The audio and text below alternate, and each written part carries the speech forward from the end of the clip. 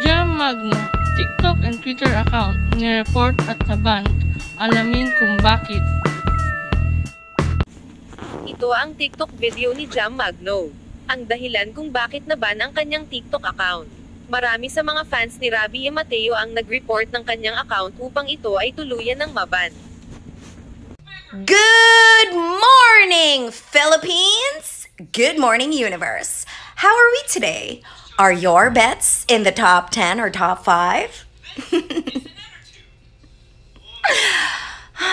Sunod ng pagkakaba ng TikTok account ni Jam Magno, sumunod na rin ang Twitter account na nakapangalan sa kanya.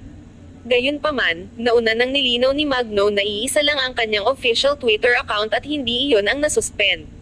Matatanda ang marami sa mga taga-suporta ni Rabi E. Mateo ang nanggalaiti sa naging reaksyon ni Jam matapos nga hindi napasama sa top 10 ang pambato ng Pinas.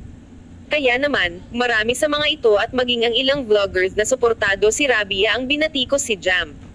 Bukod sa kanyang TikTok account, suspendido na rin ang isang Twitter account na nakapangalan kay Jam Magno. Ito ay kasunod ng matinding pambabatikos na kanyang tinamumula sa mga netizens lalo na ang sumusuporta kay Rabia Mateo. Thank you for watching. Hope you enjoyed this video. Don't forget to like and subscribe to my channel.